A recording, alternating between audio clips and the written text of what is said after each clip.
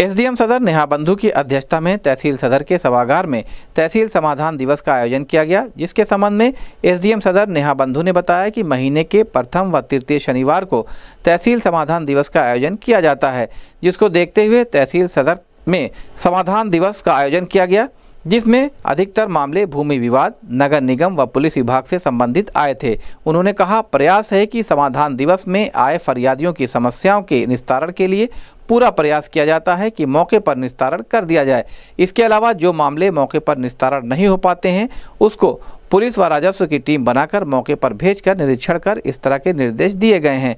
इस अवसर पर तहसीलदार सदर विकास सिंह सहित अन्य अधिकारी मौजूद रहे। इस संबंध में गोरखपुर न्यूज़ से बात करते हुए एसडीएम सदर नेहा बंधु ने कहा।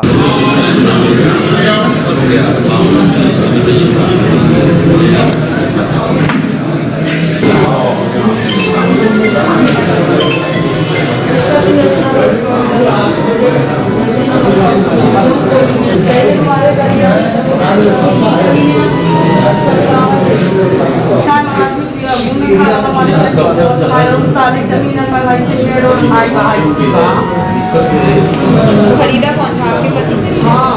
उसके बाद फिर जब पैनामा लिया तब से नहीं लिया कोई सही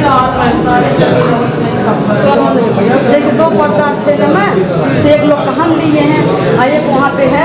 कोई नहीं हमको बोले जो तुमने दे रहा कह रहा ज़मीन हमको दे दो। हम दे हो।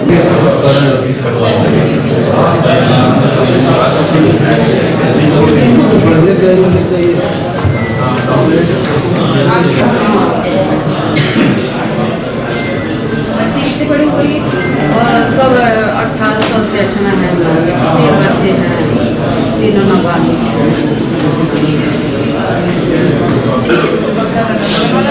हाँ जैसे उनका मन ऐसे रखा था लेकिन अरे हमारे भाई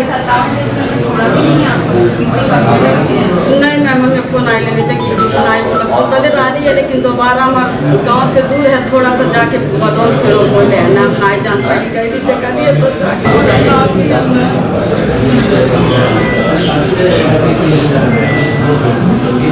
तो मैं पाँच सौ के भाई नहीं हुए दिन नहीं देखी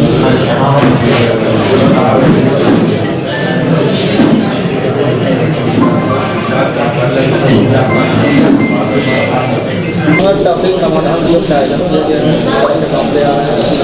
निस्तारण करेंगे। जैसा कि आप लोगों को सबको पता ही है, यहाँ पे सारे विभाग रहते हैं कुछ प्रकरण जो हैं, हमारे राजस्व विभाग के हैं, कुछ नगर निगम से रिलेटेड आए हैं, चकबंदी से रिलेटेड कुछ आए हैं पुलिस विभाग के भी प्रकरण आ रहे हैं तो जितना ज़्यादा हमारी कोशिश रहती है कि वो यहाँ पे निस्तारित हो जाएँ। पर जिसमें फ़ील्ड और मौका देखना रहता है तो उसमें थोड़ा सा टाइम लग जाता है। तो कोशिश यही है जिससे जल्दी से जल्दी निस्तारण और जो यहाँ पे लोग आ रहे हैं, वो यहाँ से संतोष पाकर ही जा पाएँ।